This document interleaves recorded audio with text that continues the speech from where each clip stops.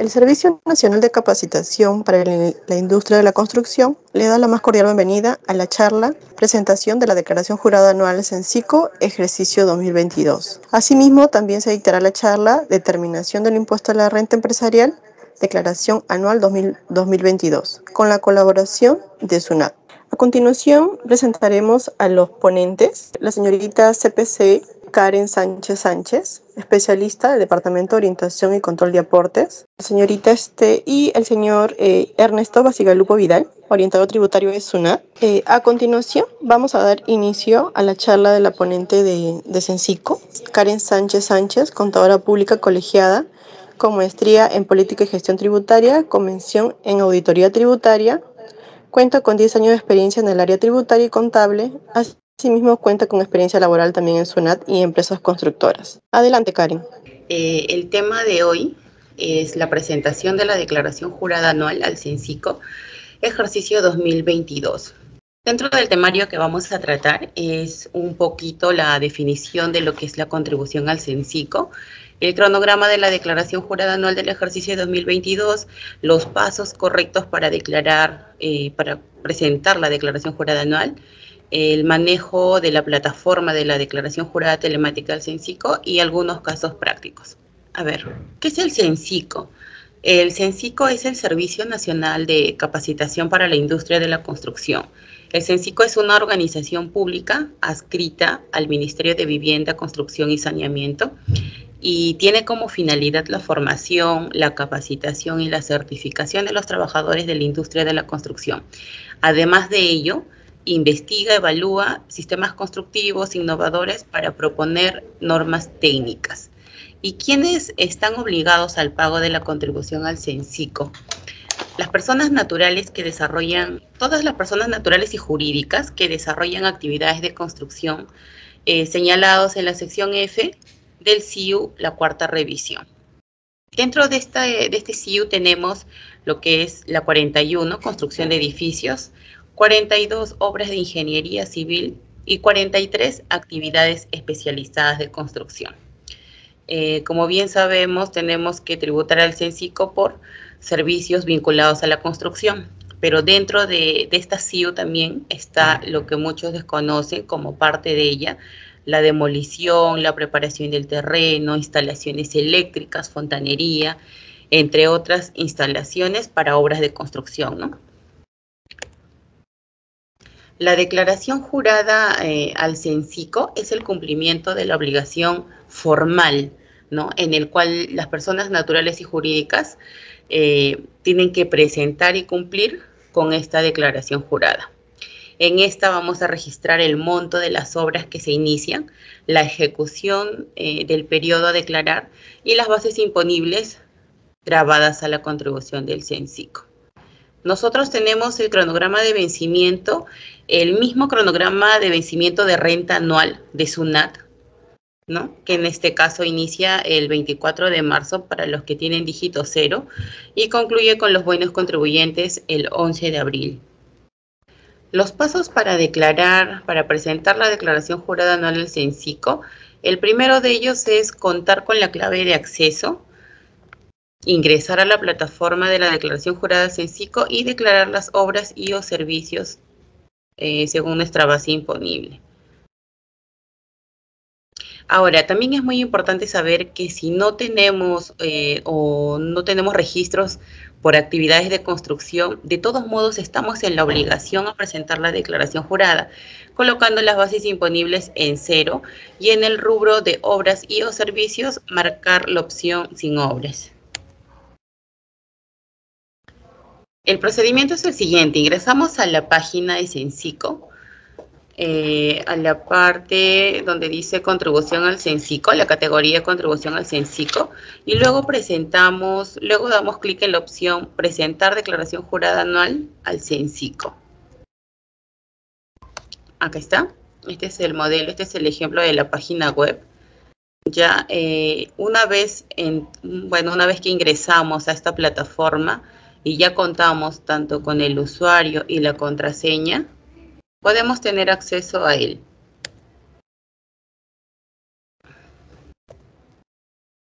Cabe mencionar que también tenemos la opción de poder descargar el manual de usuario para aquellos que mm, es la primera vez que van a realizar la presentación de su declaración jurada anual al CENCICO. También tenemos en la página web, en YouTube, ¿no? un tutorial de cómo realizar la declaración jurada anual al CENCICO. Acá tenemos un caso práctico.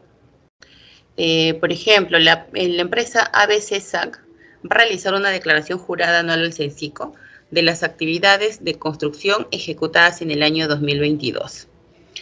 Acá podemos visualizar que dentro de las actividades económicas en consulta RUC tiene la CIU 4322, instalaciones de fontanería, calefacción y aire acondicionado. También tiene como CIU secundaria la 4210, construcción de carreteras y vías de ferrocarril. En este caso tiene ambas CIU relacionadas y vinculadas a la construcción. En este caso ellos ya cuentan con un usuario y una contraseña. Esta es la pantalla de la plataforma. Nosotros vamos a dar clic en nueva para poder ingresar los datos de nuestra declaración y los datos de nuestros ingresos percibidos en el periodo 2022. Esta es la opción. La opción de un book con un lápiz y un check, la opción nueva. Acá están los datos de la empresa, el RUB, la empresa ABCSAC.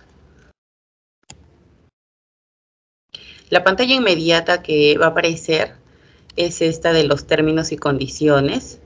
En él nosotros tenemos que marcar con un check ingresar el año a declarar, que en este año es el 2022, y darle a aceptar. A continuación eh, nos va a aparecer la opción de los datos eh, del contribuyente en este caso. La dirección actual, en este caso, eh, en nuestro ejemplo, es Avenida de la Poesía 3511. La referencia del domicilio fiscal a la altura de la cuadra 15 de la Avenida Canadá en San Borja, el departamento, provincia Lima y el distrito de San Borja. También podemos consignar un correo electrónico, un teléfono y un celular. Y lo más importante, ¿no? El dato del representante legal. Si queremos hacer alguna actualización, podemos actualizarlo. Ya, de inmediato la siguiente pantalla eh, nos va a mostrar cómo tenemos que ingresar nuestra obra y o servicio. Dando clic acá, donde dice nueva obra y o servicio, en el caso nosotros tuviéramos los ingresos durante el ejercicio 2022 por servicios de construcción y o vinculados. También hace un momento les mencioné que tenemos la opción de declarar sin obras, ¿no? dando cumplimiento a la obligación formal con el CENCICO, marcando si es que no hemos realizado ninguna obra durante ese periodo. En la siguiente pantalla vamos a ingresar los datos de nuestra obra. La fecha de inicio de la obra, en este ejemplo la fecha de inicio es el día 3 de abril del 2022.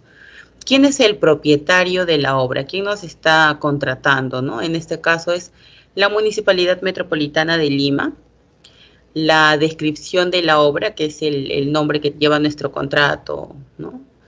Mejoramiento de la geometría vial en este caso el departamento y la provincia Lima. En este caso tenemos el distrito de Miraflores.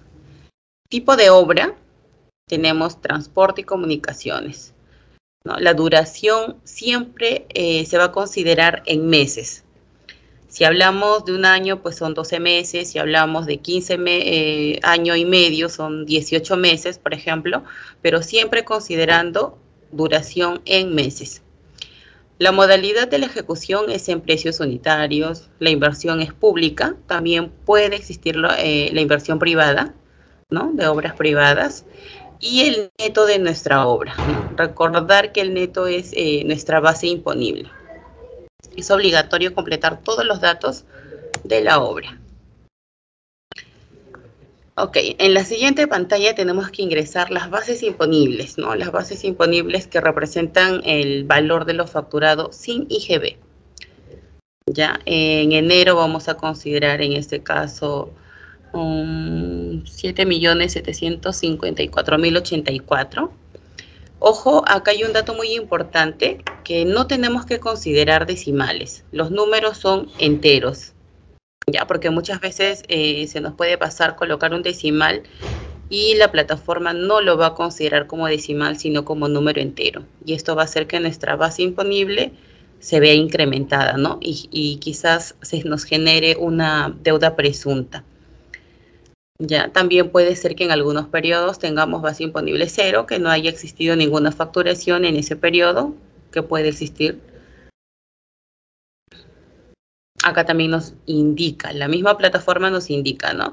La información que se ingresa como bases imponibles es exclusivamente de tipo numérico entero.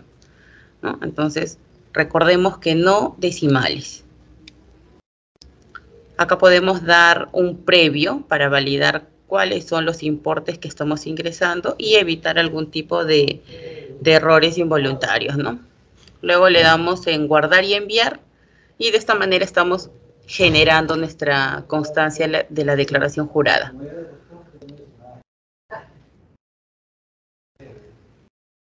Si queremos consultar nuestras declaraciones juradas, eh, quizás por allí se nos olvidó guardar la constancia, en la parte superior ¿no? En el tercer ítem dice consultar.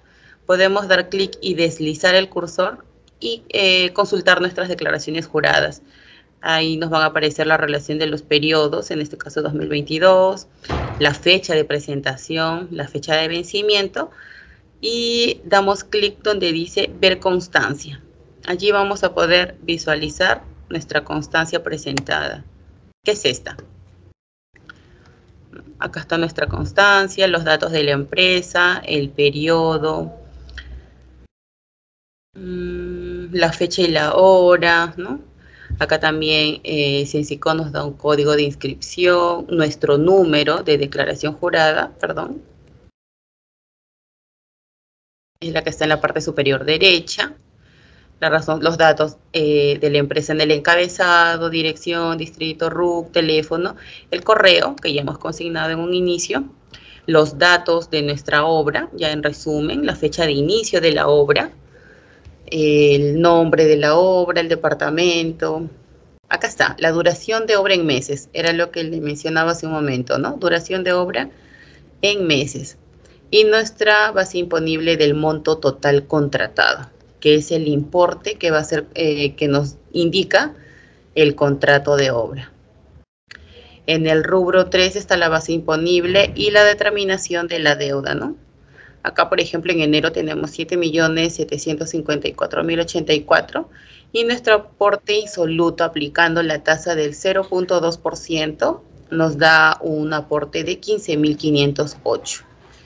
En este caso, eh, acá se puede visualizar los pagos que los contribuyentes realizan. En este ejemplo, el contribuyente no ha realizado ningún pago y su deuda insoluta es de 15.508. En los siguientes meses igual vemos que el contribuyente no ha hecho ningún pago, entonces nos sigue figurando la deuda insoluta. Recordemos que esta deuda insoluta debe de ser cancelada considerando los intereses moratorios hasta el mismo día de pago.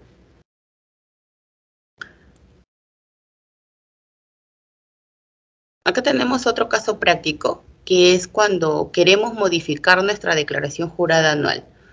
De repente pasó que digitamos un decimal y queremos modificar la base imponible, o de repente queremos modificar el tiempo en periodo. Entonces, esta es la opción correcta. Igual ingresamos nosotros a nuestra plataforma de la declaración jurada telemática con clave y contraseña con usuario y contraseña, perdón, y le damos en la opción modificación, donde está el teclado y un check. Ya, en la siguiente pantalla nos va a aparecer dos opciones, el lápiz para poder editar y la X que significa anular nuestra, nuestra obra. Vamos a dar clic en el lápiz nos va a volver a aparecer en los datos del encabezado, como la fecha del inicio de la obra, el propietario, la descripción, el dato de departamento, duración en meses, ¿no? Bueno, si de este encabezado no vamos a hacer ninguna modificación, le damos en aceptar. Y luego nos va a mandar a las bases imponibles que nosotros vamos a corregir. En este caso, eh, en, en los primeros recuadros nos va a aparecer el periodo y el dice que son los importes que nosotros hemos consignado en nuestra declaración inicial. Y en los, eh, bueno, al costado el cuadro de debe decir que son los importes que nosotros vamos a modificar, los importes que vamos a corregir.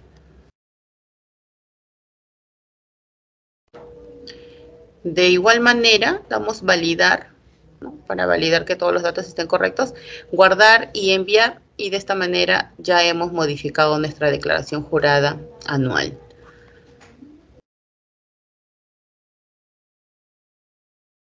Recordemos eh, el dato muy importante que si nosotros cumplimos con la contribución al CENSICO, eh, nos dan mayor facilidad a que nosotros capacitemos a más trabajadores del servicio, del sector de construcción.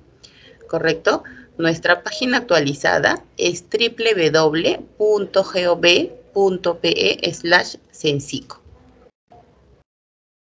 Acá tenemos tanto los correos electrónicos y los teléfonos de contacto de, los, de las 14 sedes, de los 14 departamentos, Lima, Callao, Arequipa, Cajamarca, Lambayeque y Amazonas, por ejemplo, se puede enviar el correo electrónico ante cualquier consulta a aportes-chiclayo.gov.pe. Cusco, Apurímac y Madre de Dios corresponden a Cusco, Pasco, Junín, Huánuco y Huancavelica a Huancayo, Tacna y Moquegua a Tacna, La Libertad y Ancash a Trujillo. Estos datos se encuentran en nuestra página web. Y nuestro horario de atención, recordar que tenemos el horario de atención de lunes a viernes de 8 y 30 a 1 y de 1 y 45 a 5 y 15. Eso es todo de mi parte. Muchas gracias. Gracias, Karen. A continuación, eh, va a este exponer nuestro compañero Ernesto Basigalupo Vidal, orientador tributario de SUNAT. Adelante, Ernesto. Muy buenas tardes a todos. Siempre es un placer y un privilegio estar con ustedes. A mí me ha tocado trabajar, no sé si se puede, se verifica el archivo que estoy compartiendo. No, todavía no se ve, Ernesto. A ver, vamos. Ahora sí, ahora sí. Excelente. Nos ha tocado trabajar el tema de la declaración anual de impuesto a la renta, pero en, vamos a hablar de la tercera categoría, es decir, las empresas ya o personas naturales que están obligadas a ello. La presentación que vamos a hacer el día de hoy va a abarcar cuatro grandes grupos o bloques, si lo quiere llamar así. El primero, que es el más importante, que tiene que ver con quienes están obligados a declarar el impuesto a la renta. Ahí voy a tomarme unos pequeños minutos más o menos, entre 5 a 7 minutos para poder indicar, porque esto es lo neurálgico de la presentación, ¿correcto? Entonces, por favor, toda su atención cuando inicie el primer bloque. Lo segundo que vamos a ver es cuál es el soporte, cuál es el formulario para que yo pueda realizar la declaración jurada.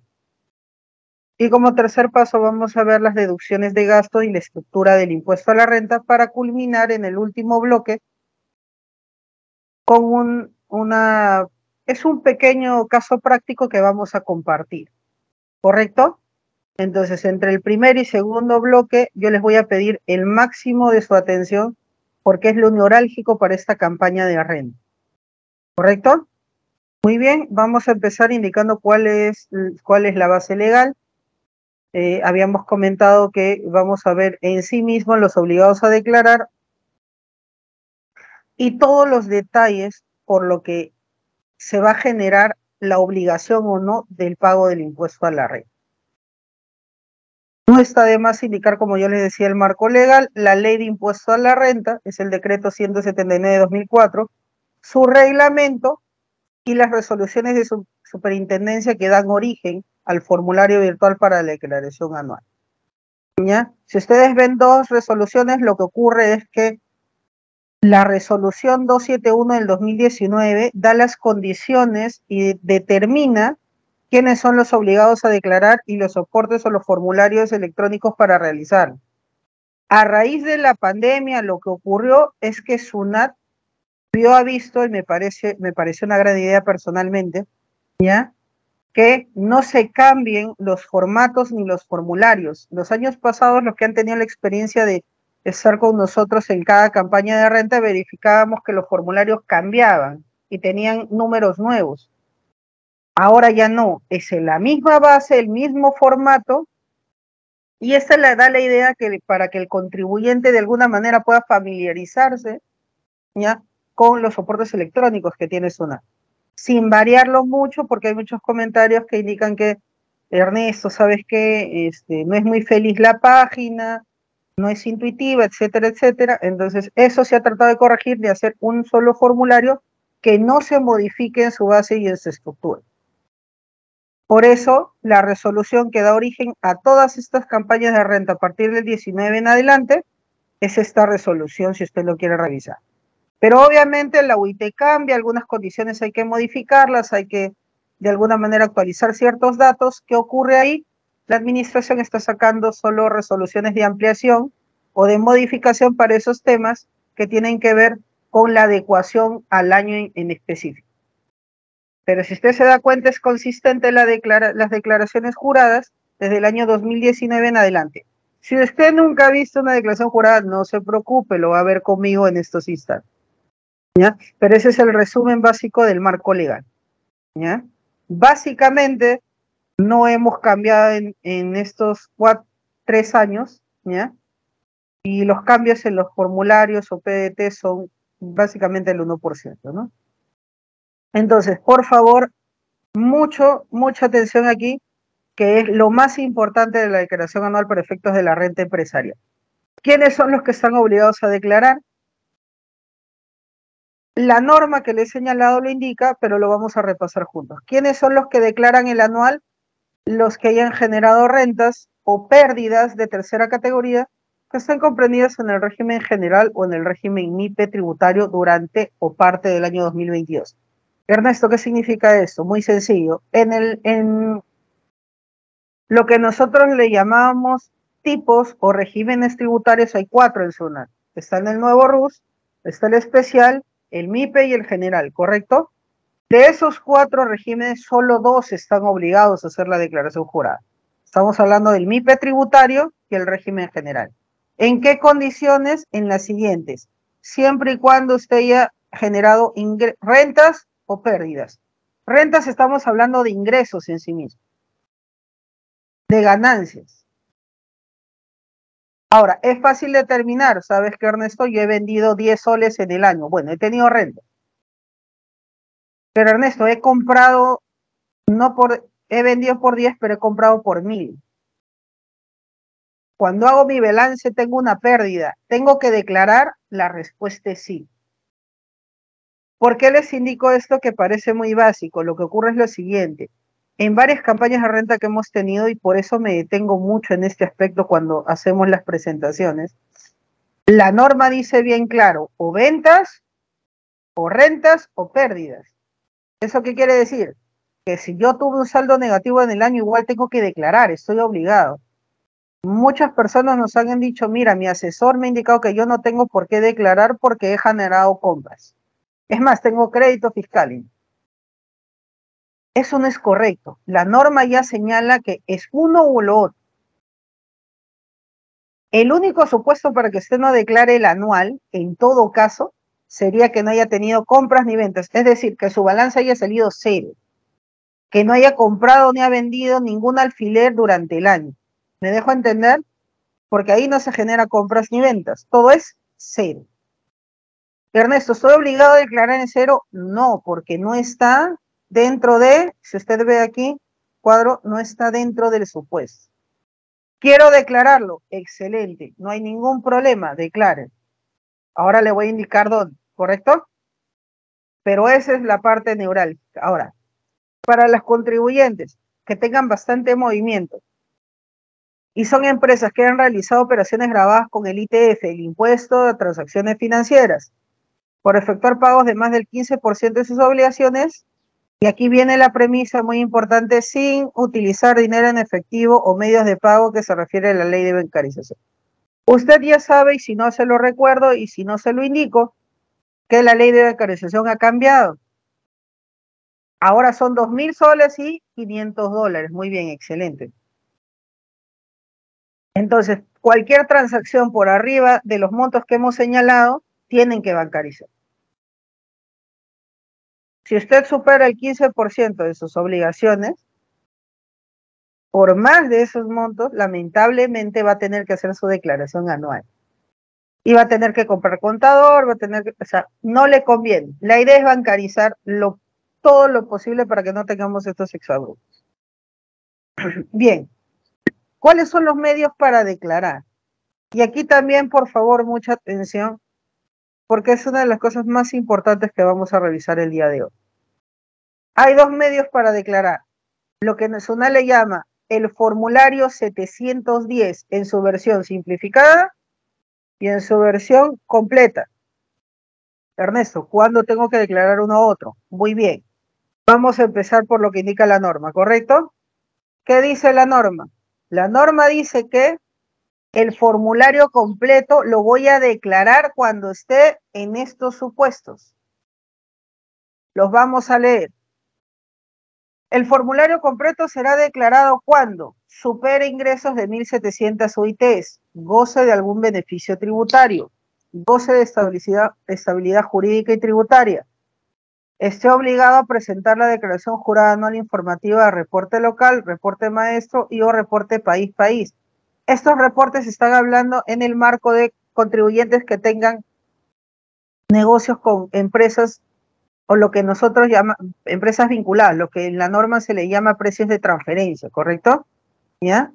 Estén obligados a presentar balance de comprobación, pertenezcan al sistema financiero, hayan presentado el anexo del artículo 12 del reglamento del ITAN, hayan intervenido como adquirientes en una organización de sociedades, deduzcan gastos según el artículo W, eh, perdón, inciso W, artículo 37, que habla de vehículos automotores asignados a las actividades de dirección, representación y administración de la empresa. Hayan realizado ITF según el inciso G del artículo 9. Justamente era lo que yo les indicaba, el inciso G artículo 9 ya habla de este 15% adicional, ¿no? Y hayan celebrado contratos de colaboración empresarial que lleven independientemente de las o partes contratantes. Me olvidaba, perdón, un, Sí, me olvidaba comentarles un, ítem más, que era deduzcan los créditos por impuesto abonado por la distribución de dividendos o utilidades de conformidad en lo dispuesto al inciso F del artículo 88 de la ley. La ley estamos hablando del impuesto al Cuando se haga su análisis, lo primero que tiene que analizar es lo siguiente, estar en estos supuestos. Si usted no está en este supuesto, ¿qué va a ocurrir? Usted puede declarar en él simplificado. Y la diferencia es que la versión completa la tiene que descargar, es una versión, este, le llaman desktop o escritorio, tiene que descargarla a su, a su, PC. En cambio, la simplificada, usted la va a declarar vía internet, vía web. Ya es en línea. Ernesto, tú me dijiste dónde tenía que declarar en cero. ¿En la primera o en la segunda? Estimados, vamos a declarar en cero si es que lo deseamos realizar ¿ya? En la declaración simplificada, no en la completa, en la simplificada. ¿Ya? Bien, seguimos. Vamos a ver también usos del PDT, porque es importante eh, recalcarlo, porque varios contribuyentes nos dicen, Ernesto, si hay dos, solo dos formas de declarar, ¿por qué en el sistema sale todavía o sale activo? Yo puedo descargar el PDT 710, es, es, este, me causa confusión. Bueno, solo para indicarles que está activo, ¿por qué? Porque hay contribuyentes que todavía están dentro del plazo prescriptorio y pueden rectificar su declaración del 2019. Y en el 2019 las reglas de juego que todavía aparecía el PDT 710. Entonces, solo en esos casos yo puedo hacer mi rectificatorio. 2020 para arriba, por favor, hay que olvidarse del PET 710 y utilizar solo el formulario en las versiones que hemos señalado. Si usted tiene una pregunta sobre esto, por favor, en el, en el, mm, eh, en el bloque de preguntas vamos a poder ampliar un poquito si gusta o haga su pregunta de manera concreta indicando a qué se dedica la empresa, cuántos años tiene para yo ayudar. Pero ese es el marco general y la visión general. Bien, el día 6 de marzo lo que hizo la administración, aunque el PDT o el, perdón, el formulario virtual 710 estaba a disposición del contribuyente desde el 2 de enero de este año, lo que se hizo fue generar un archivo personalizado de renta, el cual ya está activo para personas que quieran declarar la renta empresarial desde el 6 de marzo. ¿Cuál es la novedad con este archivo empresarial? Perdón, este archivo personalizado de renta es que jala automáticamente el saldo a favor de renta, los pagos a cuenta, las retenciones del impuesto, el ITAN efectivamente pagado y que no haya sido acreditado contra los pagos eh, a cuenta del impuesto a la renta. Esos datos los jala automáticamente. Entonces es una gran ayuda para los contadores o para los contribuyentes o asistentes contables que quieran verificar el dato. Eso es solo para verificar. Por favor, revíselo. Con todo cariño le indico que lo revise porque ya varios contribuyentes se han acercado y dicho, mire, ya descargué mi archivo y me sale tan cantidad, pero yo no he tenido ese detalle y creen que es un error de SUNAT. La puesta a disposición de este, de este, de este archivo personalizado es una información que lo va a ayudar, pero tiene que revisarlo igual, ¿correcto? Muy bien, vamos a ver rápidamente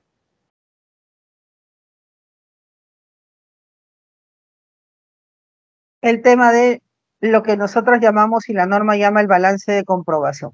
Para los contadores que están con nosotros esto debe ser muy usual, pero para los que no, vamos a hacer una corroboración. ¿Qué es el balance de comprobación? Bueno, el balance de comprobación es simplemente verificar que las cuentas del debe y haber del libro diario coincidan con el libro mayor, nada más. No hay mayor ciencia que eso para efectos de libros contables. ¿Y quiénes son los que declaran? Muy sencillo, los que superen las 1700 UITs. ¿Se acuerda que comentamos que los contribuyentes que superen esta cantidad o que tengan la obligación de llevar el balance de comprobación van a hacerlo de forma completa, muy bien. No van a poder hacerlo por el simplificado. Es muy importante que usted pueda revisar o tenga mapeado cuáles son las casillas que se tienen que sumar para efectos de determinar el balance de comprobación. Y apunte, por favor, estas son las casillas, son la 467. Estas casillas, ¿ya? Son números que ayudan a determinar la glosa o determinar la sumilla de qué cosa tengo que poner en la declaración jurada anual en el formulario correspondiente, ¿ya? La casilla 466, que es de ventas netas. La de ingresos financieros, que es la 473. La de otros ingresos grabados, 475 y la 477 sí corresponde, que es una generación de valores y bienes del activo fijo, se suman para corroborar si supero las 1.700 UITs. Ahora bien, hay excepciones para declarar o quiénes son los que hacen el balance de comprobación. Es bueno que usted sepa que las empresas supervisadas por la SBS, como las bancarias, financieras, arrendamiento, transferencia de fondos, fiduciarios, depósitos, cajas y derramas, administradoras privadas de fondos de pensiones, cajas rurales y ahorro y crédito, cajas municipales, entidades de desarrollo y pequeña y microempresa, y el Fondo Mi Vivienda, dentro de los que están, no están obligados. También no están obligadas las cooperativas, entidades prestadoras de salud, los concesionarios de transporte de hidrocarburos, las empresas administradoras de fondos colectivos. Ellas no están obligadas a declarar el balance de comprobación. Ernesto, ¿están obligados a declarar su anual? Depende si han hecho compras o no. Eso lo hay que revisar. No hay que confundir la obligación para el balance de comprobación y los que están exceptuados con los que tienen la obligación de declarar el impuesto a la renta correspondiente. ¿Ya? Eh, ya lo habíamos visto en la presentación anterior, pero tenemos que verlo igual. Las el cronograma de pagos de la declaración anual NOACA mm, es el mismo que vimos. Iniciamos el 24 de marzo y terminamos el 11 de abril.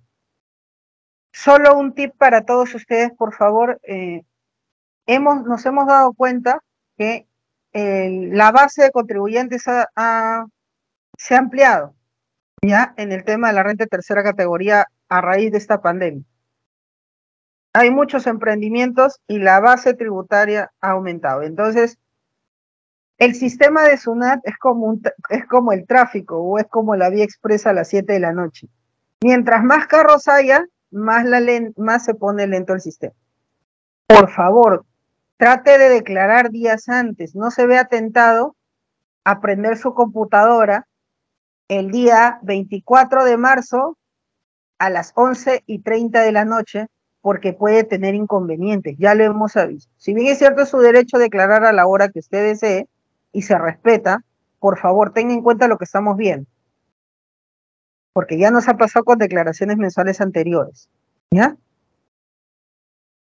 Muy bien, a manera de resumen nada más,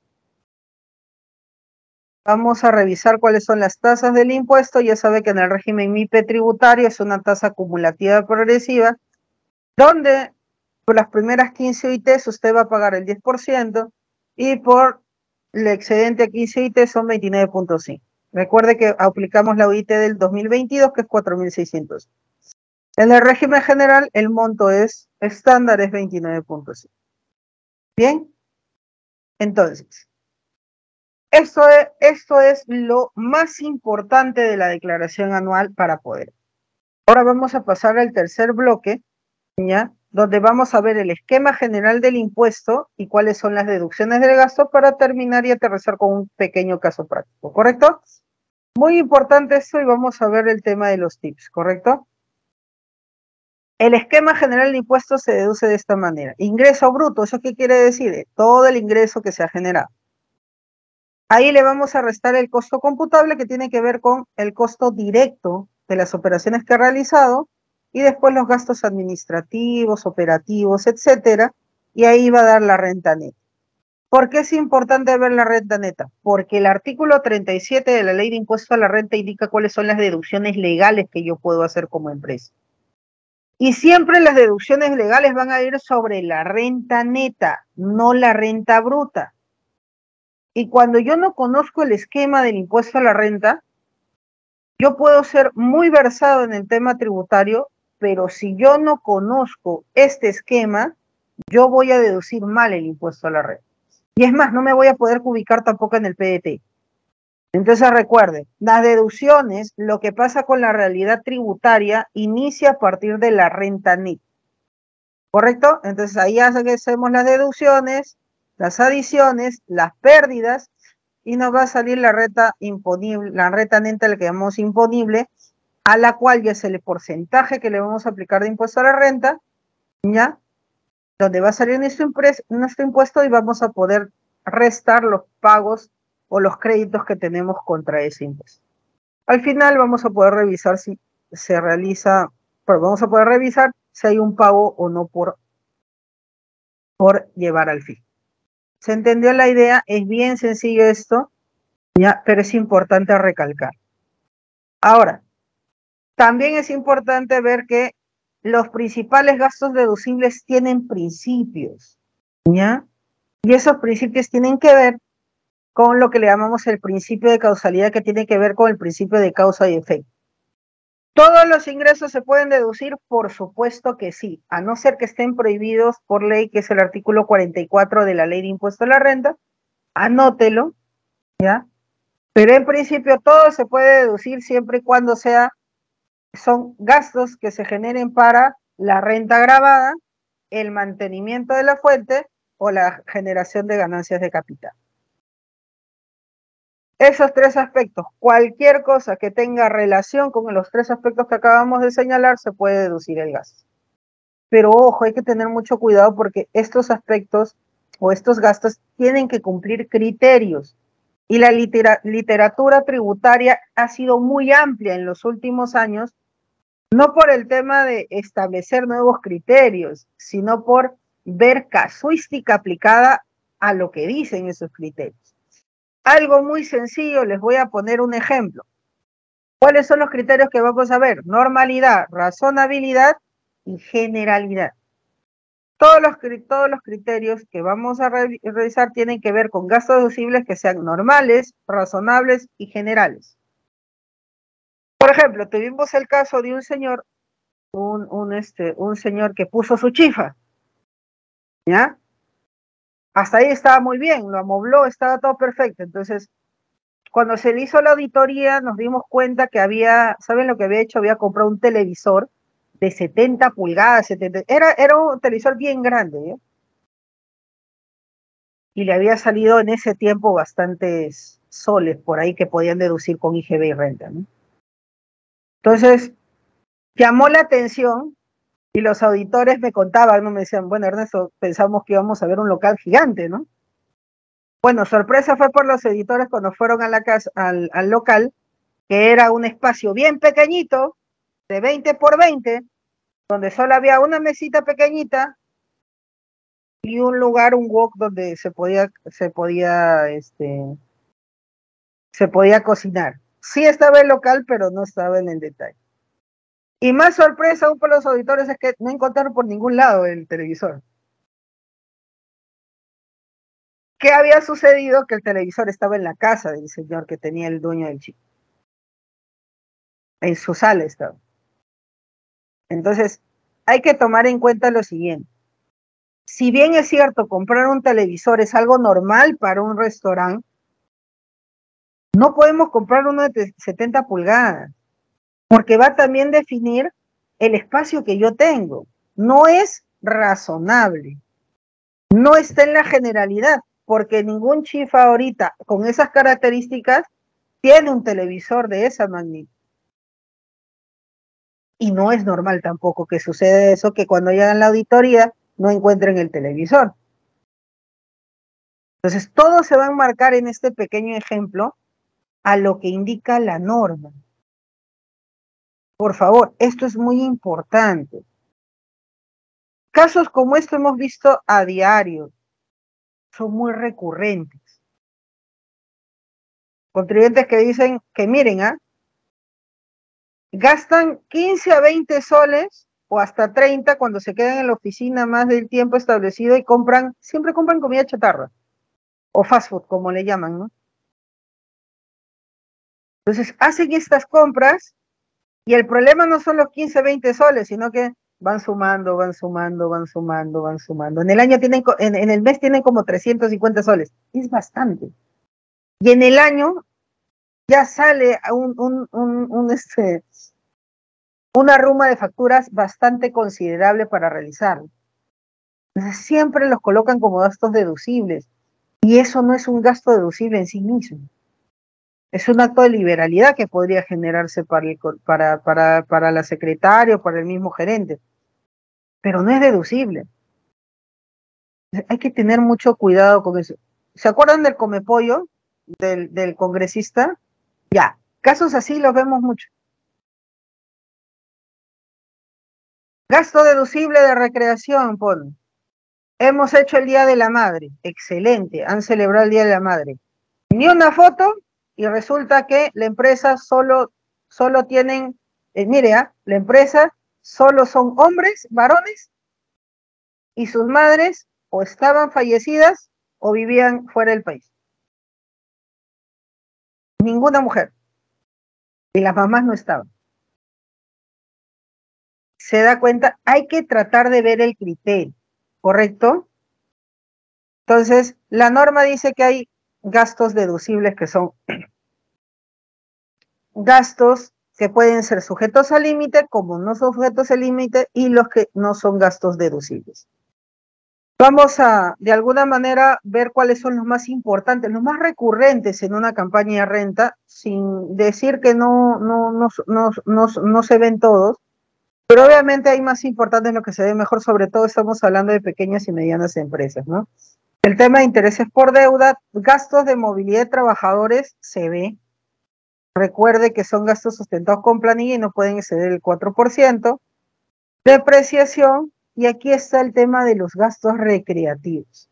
Día de la madre, aniversario de la, de la empresa, día del padre, pero ya estamos viendo que ya no tan solo es Día de la Madre, o cosas que podemos agasajar a los trabajadores. Ya hay Día del Libro, ya hay Día del Logro, ya hay Día del Esto, Día del Árbol, o sea, ya hay una serie de gastos que uno se da cuenta que no tienen razón de ser.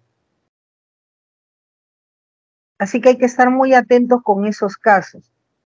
porque la administración, ahora que los comprobantes son electrónicos, tiene muy mapeado esas circunstancias. Bien, gastos por dietas de directores, gastos por remuneración de accionista titular, remuneración de cónyuge de parientes. Esto también es muy recurrente. Imagínense, el gerente general soy yo, yo gano dos mil soles. Y mi gerente administrativa es mi esposa, ella gana diez mil. Por jerarquía no se entiende. ¿Cómo el gerente general va a ganar menos que la gerente administrativa? Y usted me dirá, bueno, Ernesto es su esposa, ella tiene que ganar más. Puede ser razonable en el mundo moral, pero en el tema tributario no encaja en los efectos. Entonces hay que tener mucho cuidado. Esto es muy recurrente también. Hemos visto planillas donde está toda la familia. Un poquito más y Firulais también está en la planilla hay que tener mucho cuidado. Está bien hacer empresas familiares. SUNAT ayuda a esas empresas. Pero hay que tener en cuenta también con las deducciones de gasto que se realizan, ¿ya? Muy bien. El tema de gastos por donación también es muy recurrente. Recuerda que es el 10%, ¿ya? De eh, la deducción no podrá exceder el 10% de la renta de tercera categoría, ¿ya? gastos por pérdida de, valor o de retorno, gastos por discapacidad ya se está viendo un poco más. Recuerde que el reglamento indica una, hay una tabla que se puede revisar para ver cuál es la deducción adicional. Ya, gastos por alimentos, hace unos años ya se cambió el impuesto a la renta para adicionar que pueden darse gastos, ya, siempre y cuando se donen alimentos que estén en buen estado, que no sean perecidos, ¿ya? Ahora, gastos supuestos a límites, teníamos los tributos que recaen sobre bienes o actividades de productoras de rentas grabadas, las pensiones o jubilaciones, las contribuciones de salud o rastros recreativos y culturales, los gastos de exploración, preparación y desarrollo y desmedre y mercadería BINS. Aporte voluntario de fin provisional, pérdidas extraordinarias por caso fortito fuerza mayor. Esto también es muy recurrente. Recuerde que el el reglamento indica que tiene que haber una denuncia policial previamente y que se haya ejercido todos los medios provistos para poder eh, de forma iniciativa cobrar el, saldo o si no ir al Poder Judicial, si no, no se va a poder realizar. Y tenemos los gastos por aguinaldos, gratificaciones y retribuciones, gastos por capacitación del personal, que este es el único gasto que la norma indica que no es general, siempre y cuando sea normal y proporcional y gastos por regalía y retribuciones a favor de beneficiarios no domiciliarios. Bien, vamos a terminar con el cuarto bloque que vamos a revisar un caso práctico que nos va a ayudar a aterrizar todo lo que hemos visto hasta el día de hoy. Vamos a tratar de hacerlo ágil, dinámico, para que usted pueda seguirme en todo lo que se ha señalado hasta el momento. ¿Correcto? ¿Estamos todos preparados? Muy bien. La empresa comercializadora La Joya, con RUC número tal, domiciliado en calle Los Halcones, tiene actividades desde el año 2017 y está acogida al régimen MIPE tributario. Desde aquí, primera pregunta, ¿dónde tiene que declarar? Por el momento, muy bien, en el simplificado. Vamos a seguir leyendo, vamos a hacer, haciendo nuestro análisis, ¿no? Para efectos de la creación jurada del impuesto a la renta de tercera categoría del 2022, se nos da la siguiente información. La situación financiera, valores históricos al 31 de diciembre del 2022 es 528.781. Eso se consigna en la casilla 482 del estado de resultados. No pierda de vista este importe porque es el importe que nos va a ayudar para empezar a calcular el impuesto a la renta de salir del tema contable ya del estado de resultados a la realidad tributaria que vamos a ver. Nos dan más datos, vamos a seguir leyendo. Ha realizado pagos a cuenta del impuesto a la renta correspondiente al ejercicio 2022 conforme al indicado del artículo 85 de la ley de impuesto a la renta por un importe de 4.716 soles.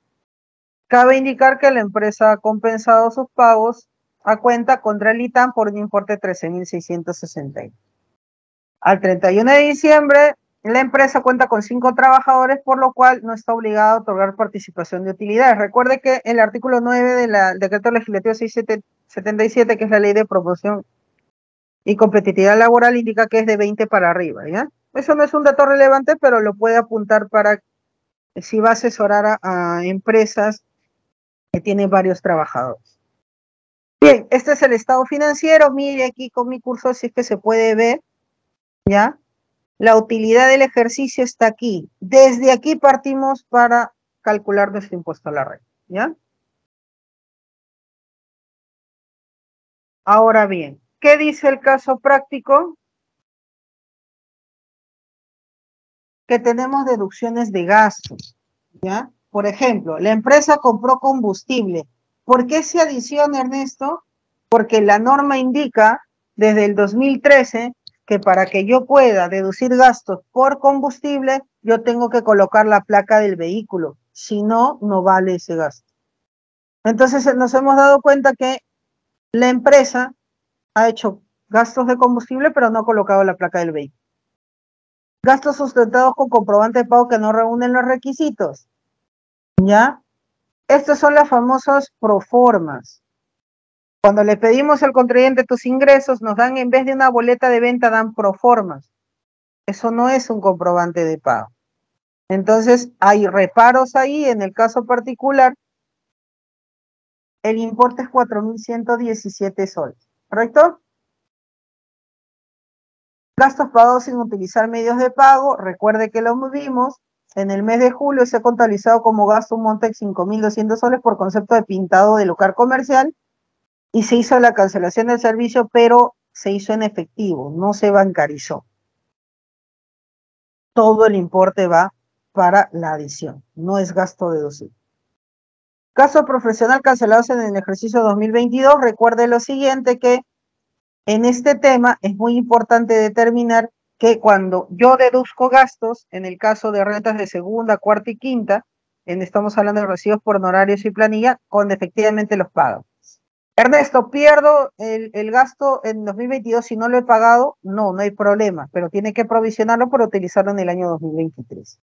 Eso es lo que le llamamos gastos con efectos temporales o diferencias temporales. ¿Ya? Gastos no sustentados con comprobantes de pago. Esa es otra historia también. Hay gastos cuando vemos salida de caja, no hay comprobante. Hay que revisar ese dato también. Y gastos personales de accionistas, en el ejemplo, se compró una laptop para su sobrina, se compró un refrigerador, se, se pagó un taller de guitarra para su hijo. Es muy recurrente esto. Por favor, téngalo en cuenta. Bien, y vamos a ver deducciones, porque yo le comentaba que la norma permite hacer deducciones adicionales como gastos por discapacidad Ingresos por dividendos, recuerde que la norma indica que los ingresos por dividendos para personas jurídicas están exonerados del impuesto a la renta. Ya, si usted quiere ver el artículo 24 eh, de la ley de impuesto a la renta lo dice, ya, y la desapreciación acelerada o lo que le llaman los contratos de leasing también ayudan para la, para la deducción adicional.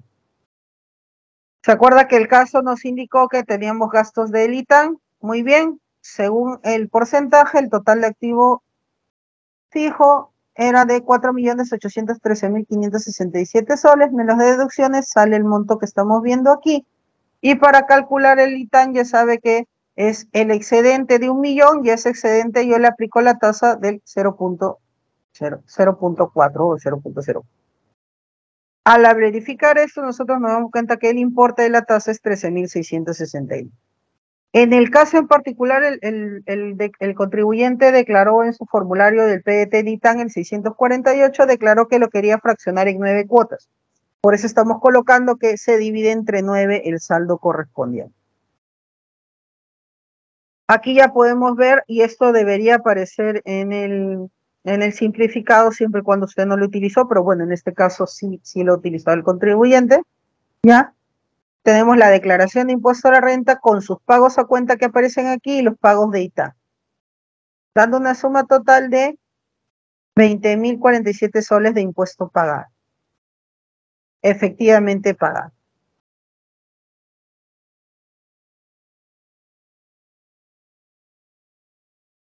Muy bien, regresando ya a la determinación de la deuda, tenemos que las utilidades del mes, ¿se acuerda el monto que yo le dije que no tenía que perder de vista, los 528.781 soles?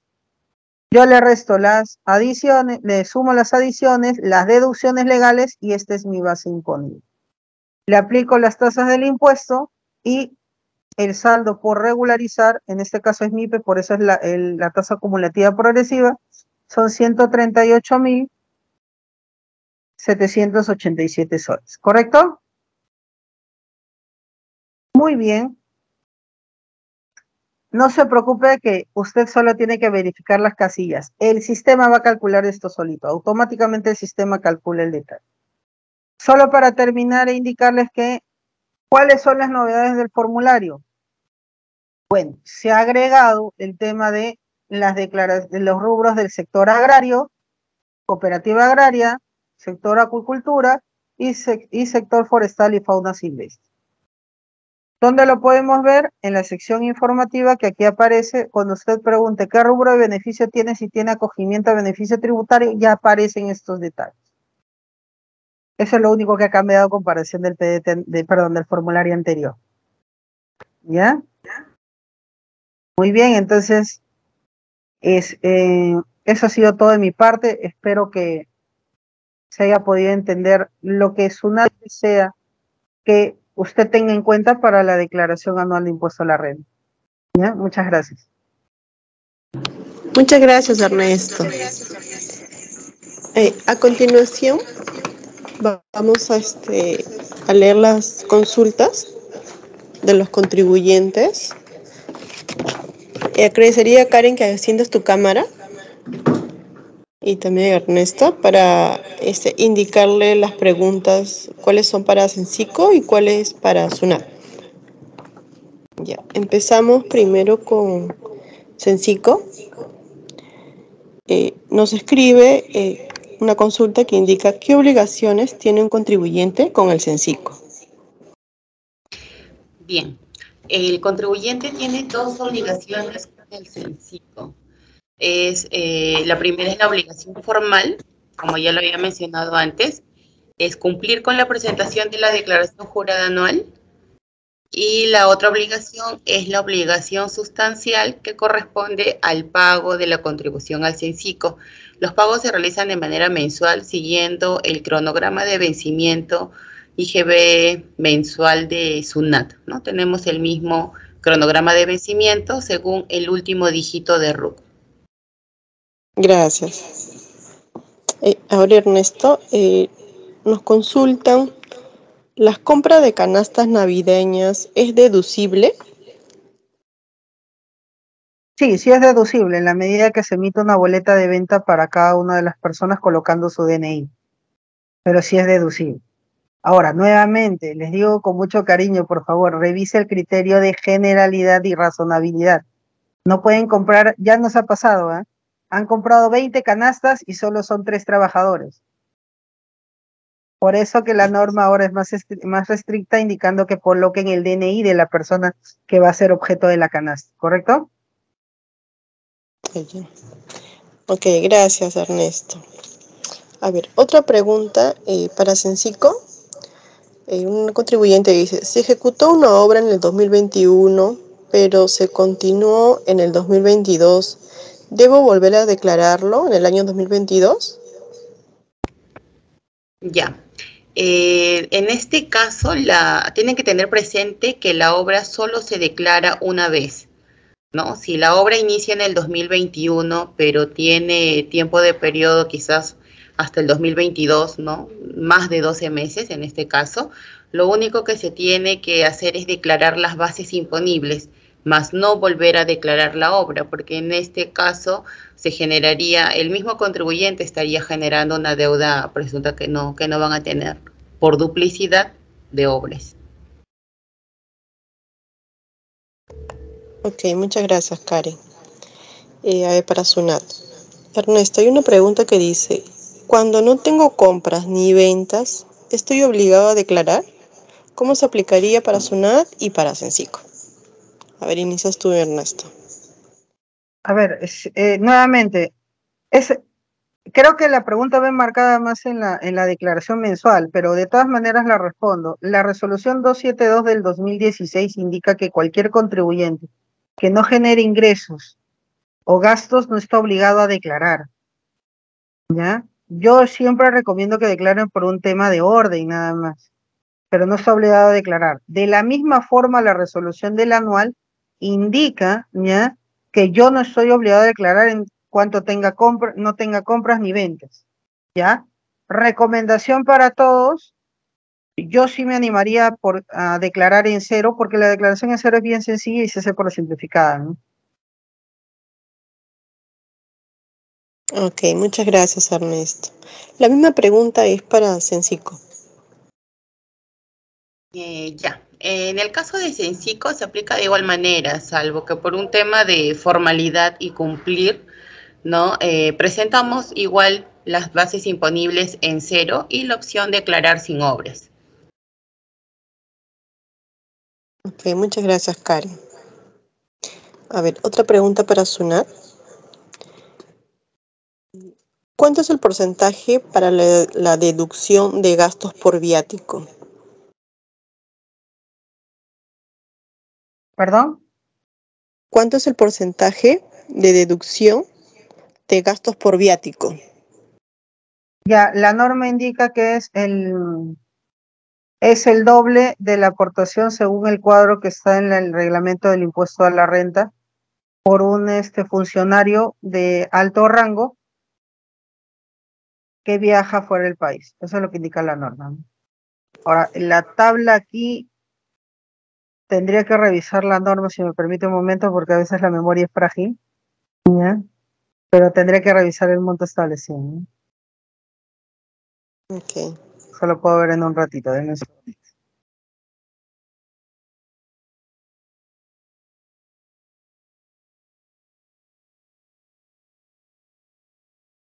Si podemos pasar a otra pregunta de repente para que mientras yo voy buscando el tema del reglamento a la renta.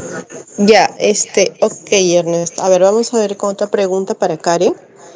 Eh, dice, ¿dónde se paga la contribución al CENCICO?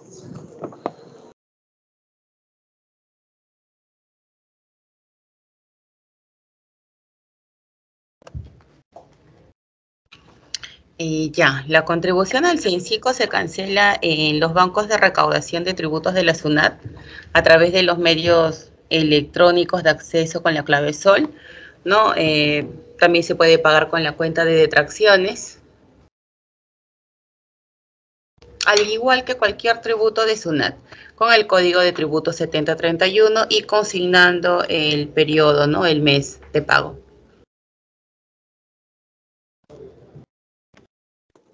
A ver, Karen, ¿podrías ayudarme en leer las preguntas del chat? Sí, claro. Ah, a ver un momento. Ya, hay una pregunta para nuestro compañero de SUNAT. Eh, José Ignacio pregunta si desde enero 2022 la empresa se encuentra en régimen MIPE y en septiembre lo pasan a régimen general. ¿Cómo se presentaría la DJ anual? Ya, este, para responder la pregunta anterior, el monto es este 750 dólares para régimen exterior y 1.500 para este, territorio nacional, ya para poner los montos establecidos. La segunda consulta era, lo que ocurre es lo siguiente, la norma que indica, que la norma indica que usted va a hacer su declaración, ¿ya? Por el régimen en que termine. Entonces, si usted ha terminado en el régimen general, en diciembre, en este caso estoy entendiendo, va a tener que declarar como régimen general, ¿no? No como MIPE, sino como general.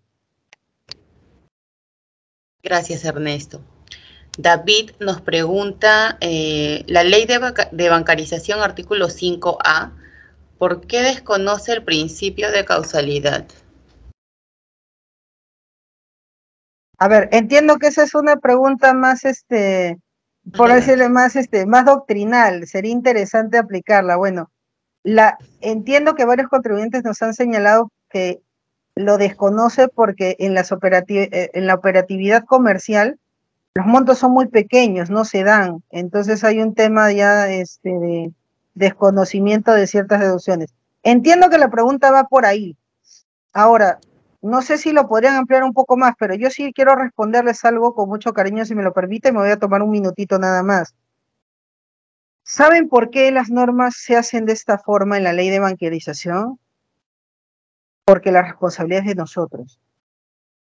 Si nosotros pidiéramos comprobante de pago, si nosotros bancarizáramos los documentos, si nosotros pudiéramos de alguna manera los formales tratar de formalizar, los montos seguirían subiendo. La restricción tributaria, y en este caso ni siquiera restricción tributaria en sí misma, es una restricción financiera, tiene que ver con la actitud, la actitud de los operarios y los operarios somos nosotros.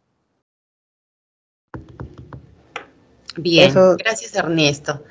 Denis Alexander pregunta, eh, ¿hay prórroga de las declaraciones anuales 2022 y las mensuales del 2023 por los desastres naturales que está pasando en este momento? Ah, eh, pregunta si hay prórroga. Sí, hoy día salió una resolución en el, en el peruano indicando cuáles son las fechas. No hemos tenido tiempo para, para, este, para colocarlos en, el, en, la, en la declaración o en, en, la presentación, pero sí les confirmo que, existe, que ahorita hay, no, como le digo, por el tema de la memoria frágil, no tengo los, los detalles aquí, pero sí, hoy día ya salió una resolución indicando que hay prórrogas, ¿ya? Para régimen, para, ojo, la prórroga solo es, indica la norma, para los contribuyentes que estén domiciliados en los lugares donde, estamos, donde están los puntos críticos o los puntos de emergencia. Lima no es un punto así, entonces por favor, hoy ya tuve la oportunidad de ir al centro de servicio y conversar con algunos contribuyentes y nos decían, eh, y levantar la mano y decían, yeah, vamos a declarar después. No, es que la norma no dice eso. La norma aplica solo para los domicilios que están dentro de la emergencia, ¿ya? Lima en sí mismo metropolitana no aplica ese detalle, ¿no?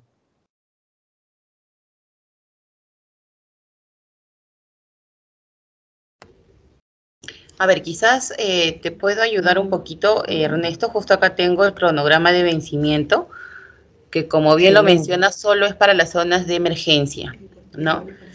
Eh, que igual también va a aplicar para lo que son declaraciones de Censico. Eh, si tu RUC termina en cero, la fecha de vencimiento es 15 de junio. Para el RUC que termina en 1 es el 16. Para el RUC 2 y 3 es el, la fecha del 19 de junio, para lo que termina en 4 y 5 el 20 de junio, 6 y 7 el 21 de junio y 8 y 9 22 de junio.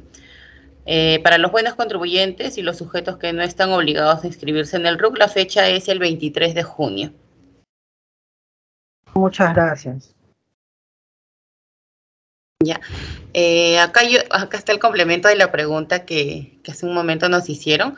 David pregunta, eh, la ley de bancarización, artículo 5A, ¿por qué desconoce el principio de causalidad si usa medios de pagos utilizados por los terceros? Ah, ya, lo que ocurre es lo siguiente, si me permite puntualizar ese dato. No es que lo está restringiendo, es más, desde la óptica lo que se está haciendo es ayudar al contribuyente a que no trianguleice ciertas operaciones. Porque, mire, ¿ah? Si la operación es entre usted y yo, ¿ya? La señorita, por ejemplo, Daisy, no tiene por qué aparecer en la transacción financiera, a no ser que esté directamente vinculada. No es que, no es que deduzca los gastos, no que no lo reconozca, sino que lo que quiere evitar la administración es la triangulación innecesaria y producto de eso elevación fiscal o tributaria de ciertas operaciones. Le pongo un ejemplo bien sencillo para entender por qué hoy día tuvimos un caso en el, en el centro de servicio. Mire, ¿ah? yo vendo un inmueble, ¿ya? A la señorita, vamos a utilizar a la señorita Daisy que nos está apoyando, ¿ya? Sin embargo, la señorita Daisy no tiene cuenta en dólares o lo va a hacer a través de una financiera o el monto va a aparecer a través de un tercero que está fija a la operación. Entonces, ahí se deposita el dinero. Lo que la administración o la ley de bancarización está diciendo, eso no es deducible porque no está dentro de, a no ser, y ya hemos tenido el detalle, de que usted pueda presentar un escrito por mesa de partes indicando lo que corresponde y vinculando. Ahora, el reglamento o el reglamento correspondiente indica que eso se va a regular a través de una resolución de intendencia de SUNAT. Hasta el momento no la tenemos, no la tenemos este, generada, pero lo que están haciendo los contribuyentes en este aspecto es presentar su escrito para que no tenga ningún problema y no haya gasto deducido. El gran error que se comete, por desconocimiento creo yo, es en las empresas, ¿ya? Donde el gerente general, en vez de hacer las, eh, en vez de hacer las operaciones con sus cuentas de la empresa, los hace con cuentas personales. O sea, distribuye las cuentas. Eso para SUNAT no es válido esas compras porque lo que está haciendo es las deducciones de gasto de un tercero que no tiene nada que ver con la bancarización realizada en el proceso de compra y venta que se ha, se ha generado para la empresa. Ese es un dato bien interesante que hay que tomarlo en cuenta, ¿no? Agradecemos a todos por su participación y gracias Ernesto por la colaboración en la charla. Muchas gracias a usted.